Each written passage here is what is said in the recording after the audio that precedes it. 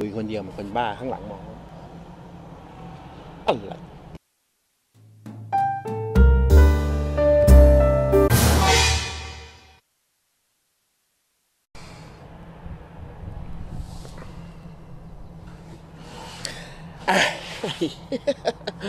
โอ้เมื่อกี้นี้อัดไปยาวๆเลยนะฮะสวัสดีครับทุกทุกๆท่าน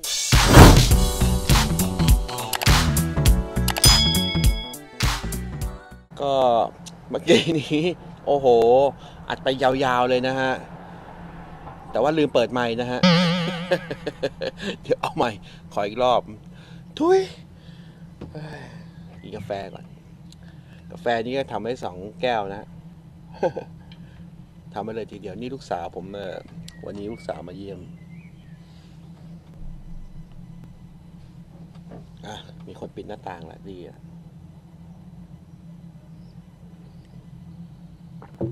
อืมเดี๋ยวมา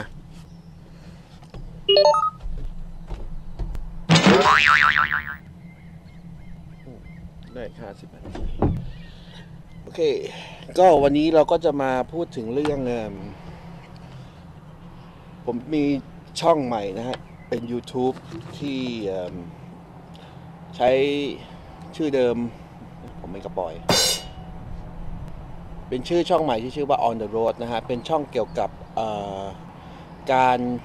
ขับรถนะฮะ ชมเมืองชมทางดูสิ่งต่างๆ รอบๆ ในเมืองโคเปนเฮเกนแล้วก็โอ้ในเดนมาร์กเลยสิ ไม่ใช่โคเปนเฮเกนอย่างเดียว แต่ส่วนใหญ่ก็โคเปนเฮเกนนะฮะแล้วก็ในตัวเมืองต่างๆ ที่เป็นพวกเอ่อเขาเรียกว่าอะไรอะในเขตอำเภอของเขานะฮะทางเป็นยังไง โอ้แต่แดดดี ทางเป็นยังไง ต้นไม้ถนนหนทางคนใช้รถใช้ถนนเยอะน้อยแค่ไหนอะไรยังไงพวกนี้นะฮะดูเพลินๆนะฮะไม่ค่อยมีพูดอะไร แล้วก็ ไม่มีพูดอ้อวันนี้เราก็จะมาพูดถึงคลิปที่ห่างหายกันไปนะฮะเพราะว่าช่วงที่ผ่านมาเนี่ย วันหยุดของผมเนี่ย มันก็จะไปตรงกับ งานวันเกิดบ้างอะไรบ้างนะเพราะว่าช่วงนี้เป็นหน้าร้อน ก็เลยได้ไม่ค่อยได้มีเวลารวมตัวกันพ่อแม่ลูกนะออกไปถ่ายคลิปสถานที่เที่ยวต่างๆ ให้ได้ชมกันโอเคมีคนเข้าบ้าน แล้วไอ้วันที่ผมมีเวลาร่วมกันนะฮะมันก็ฝนตก เป็นอย่างนั้นจริงๆนะอยากจะบอกว่ามันฝนตกนะฮะฝนตกแล้วมันก็ถ่ายไม่ได้นะครับอ่าก็เลยต้อง หายไปนานพอสมควร แต่อีกประมาณเดี๋ยววันอาทิตย์เนี้ยฮะผมก็จะกลับเมืองไทยนะฮะเดี๋ยวเราก็จะเริ่มถ่ายคลิป แล้วก็จะไปที่เที่ยวจะไปเที่ยวสถานที่ที่มันคนไม่ค่อยรู้จัก หรืออาจจะรู้จักแล้วแต่ว่าสำหรับผมผมยังไม่รู้จักนะครับ ผมจะไปในที่ที่ไม่ใช่ทัวริสต์นะฮะ ไม่ใช่ที่ของทัวริสต์ จะไปในที่ที่คนที่เขาผมได้ดูรีวิวนะฮะสำหรับคนที่เขากลับไปบ้านเกิดนะฮะ แล้วเขาก็ไปพัฒนาบ้านเกิด ไปสร้างโฮมสเตย์อะไรไปต่างๆเออพวกพวกนี้นะฮะที่น่าสนใจนะ เพราะว่าสถานที่เที่ยวต่างๆผมก็ไปมาจนจะครบละ ไม่ครบหรอกก็ขาดอีกเยอะน่ะ ดีแล้วโม ก็ไปมาเยอะนั่นแหละฮะแต่ว่าไปที่ซ้ำๆเดิมๆสถานที่ท่องเที่ยวเดิมๆ tourist เยอะๆเนี่ยคือว่าไม่ค่อยน่าละเออไม่ค่อยน่าจะคือมันไม่ค่อยประทับใจเหมือนเหมือนครั้งแรกๆนะ ก็ เนี่ยก็เดี๋ยวจะลงคลิปมาเยอะๆเลยตอนนี้จะมาถ่ายก็ลงให้ ได้ดูกันนะฮะสำหรับพ่อแม่พี่น้องที่ติดตามนะฮะเพื่อนๆนะฮะขอบคุณมาก ๆนะฮะแล้วก็ถ้ามีอะไรอะมีคอมเมนต์หรือว่าอยากจะให้ผมทำอะไรยังไงมีอะไรแนะนำเนี่ยนะฮะคอมเมนต์มาได้ที่ใต้คลิปเลยนะฮะทุกคลิปเลยนะฮะจะเข้าไปตอบทุกคลิปเลยนะครับ วันนี้ผมก็จะมารีวิวนิดนึงนะฮะเกี่ยวกับ ไมโครโฟนเกี่ยวกับการทำพัฒนาช่องนะฮะ วันนี้นะฮะเราก็มีนี่แล้วทำไวเลสนี่คือไวเลสนะฮะ ไมโครโฟนที่เราจะใช้สำหรับในการรีวิวในครั้งต่อๆไปนะฮะ เพื่อคุณภาพเสียงที่ดีนะฮะ เพื่อท่านผู้ชมเลยนะฮะ พวกเราก็นี่นะฮะ จัดไปนะฮะสำหรับลูกหนึ่งคนภรรยานะฮะ ส่วนผมก็จะใช้ตัวนี้เป็นเป็นคนถ่ายนะฮะ ก็จะประมาณนี้นะครับ อันนี้เราก็อาจจะถ้าจะพูดถึงเรื่องรีวิวคงไม่ต้องแล้วนะครับ เพราะว่าก็ไปดูได้ใน YouTube ทุกคนก็รีวิวยี่ห้อนี้กันนะฮะ ส่วนใหญ่เราก็จะใช้ในที่มันเป็น500เมกะเฮิรตซ์อัพขึ้นไปนะฮะ เพราะว่าเป็นช่องที่ใช้ได้ในยุโรปนะฮะ ถ้าเป็น 200 กว่าถึง 300 เนี่ย ถ้าเป็นก็จะจะให้ได้ที่เฉพาะที่ เอเชียหรือเมืองไทยนะบางคนเอาไปใช้ที่ญี่ปุ่นก็จะมีปัญหากุกกุกกักกักนิดหน่อยนะฮะเสียงที่ได้มาก็จะไม่เคลียร์นะครับ ก็เลยต้องซื้อยี่ห้อที่มันในยุโรปนิดนึงนะก็จะให้มาครบ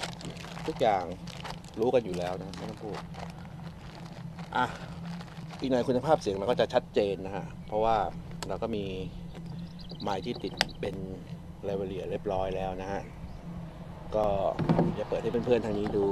นิดนึงนะฮะนี่ครับ ประมาณนี้ กับวันนี้นะฮะเช้าวันอาทิตย์ที่ 23 มิถุนายนเเวลา 9 โมง 46 นาทีนะฮะ นี่เป็นคลิปที่ 2 คลิปแรกอัดไปพลาดนะฮะลืมเปิดใหม่นะ แม่พูดไปซะเยอะเลยนะน้ำลายกระเด็นนิดนึงก็ประมาณนี้นะฮะไม่มีอะไรมาก ชื่ออีกช่องหนึ่งชื่อว่าย้ำกันอีกทีชื่อว่า on the road นะฮะ กับช่องนี้ซึ่งเป็นช่องที่แบบว่าถ่ายวีล็อกทั่วไปนะฮะ การไปเที่ยวสถานที่ต่างๆ พิพิธภัณฑ์อะไรเงี้ยเราก็จะ สรรหามาเยอะๆนะครับสำหรับคนที่คิดอยากจะมาเที่ยวเดนมาร์กนะครับ มันเป็นเมืองที่น่ามานะผมอยู่ที่นี่ผมยังรู้สึกว่าผมโชคดีที่ได้มาอยู่ที่นี่นะฮะมีความสุขมากๆ มีงานการที่มั่นคงนะฮะแล้วก็มีดูสิวิวทิวทัศน์ที่สวยงามงามมีวิวทิวทัศน์ที่สวยงามแบบนี้นะฮะอยู่ด้านหลังแล้วก็ดีฮะ พี่สาวน้องสาวไม่มีน้องสาว พี่สาวก็อยู่ข้างล่างทำร้านอาหาร ก็มีความสุขดีฮะแล้วก็ผมช่วยคำว่าผมพูดคำว่าผมพูดคำว่าละก้อนี่เยอะมากเลยนะต้องขออภัย ถ้าไงจะไปตัดออกนะฮะคอมเมนต์เข้ามาครับ ใต้คลิปนะฮะแนะนำกันได้นะครับ เพราะว่าผมเองก็เป็นมือใหม่ แล้วก็อยากจะพัฒนาช่องให้ดีขึ้นนะฮะเอาให้มัน ดูแล้วมันสนุกนะฮะสนุกได้สาระนิดหน่อย โอ้แล้วก็เราลืมเราลืมลืมบอกไปอย่างนึงเกี่ยวกับเรื่องทำวีซ่านะครับที่นี่นะครับ ถ้าใครคิดที่จะ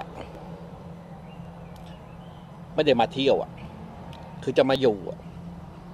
แนะนำเลยนะครับ ผมต้องขอโทษ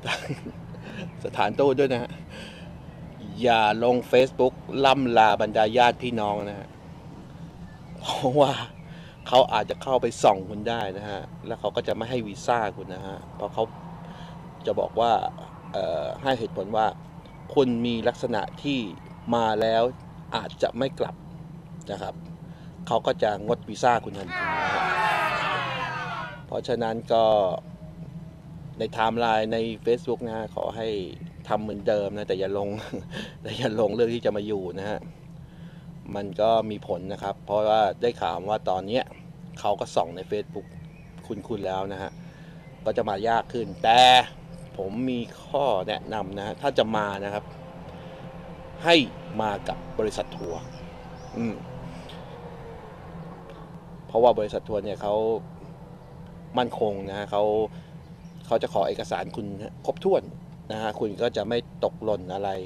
แค่เสียค่าบริการเพิ่มนะฮะแล้วซื้อตั๋วกับเขาคุณก็จะได้มาอย่างเขาเรียกอะไรอะไร้ปัญหานะครับนะฮะแล้วก็ได้เห็นอีเมลจริง ๆ ของคนที่เขาได้รับอีเมลนะว่าทำไมถึงไม่ได้มานะก็เป็นแบบนี้ก็แจ้งข่าวให้ทราบนะ ไม่รู้ว่าจะเป็นการชี้โพงหรือเปล่านะแต่ว่า นะ คนไทยนะ รักกันนะครับประมาณนี้บอกบอกกันขออภัยกับทาง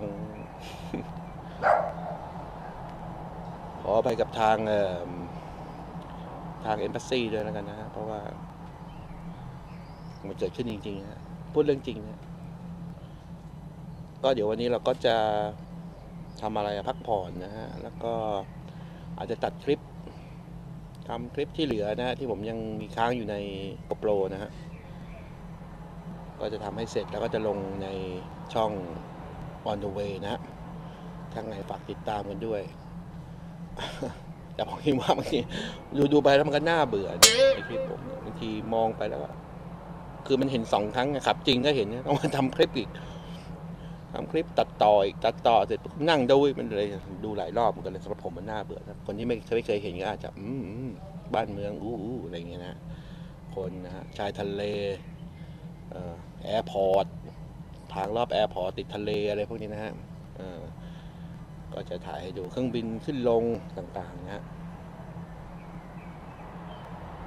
เมื่อกี้มีน้องหมามาทักทายนะฮะเห่าโฮ่งหนึ่งเรียกผมนะฮะให้ผมหันไป ได้ผลนะ ผมก็หันไปจริงๆนะฮะหันตามเสียงหมาเห่าเลยเออประมาณนี้ เออขาดอะไรอีกล่ะ วันนี้อะถ้าไม่มีอะไรอะ ผมว่าจะออกไปถ่ายสวนสาธารณะที่นี่ สนามเด็กเล่น ถนนหนทาง ทางรถสายรถไฟก็น่าสนใจนะ ออกไปกับลูก เดี๋ยวจะให้ลูกผมเป็นเอ่อ เออเดี๋ยวจะลองไมค์เลยดีกว่าเดี๋ยวให้ให้ลูกผมเป็นพิธีกรเลยนะลูกสาวเดี๋ยวจะลงภาพลูกสาวให้ดูนะครับปิ้งเห็นยังฮะสวยใช่ไหมล่ะ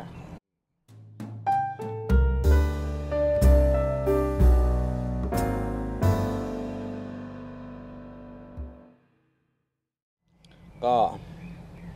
ขออ๋อขอโทษนะ ต้องขอจบแต่เพียงเท่านี้ขอลาเป็นเท่านี้ก่อนดีกว่านะฮะสำหรับคลิปนี้แล้วเดี๋ยวคราวหน้ามีอะไรก็จะมาแจ้งข่าวให้ทราบกันอีกนะฮะเร็วๆนี้ แฮ่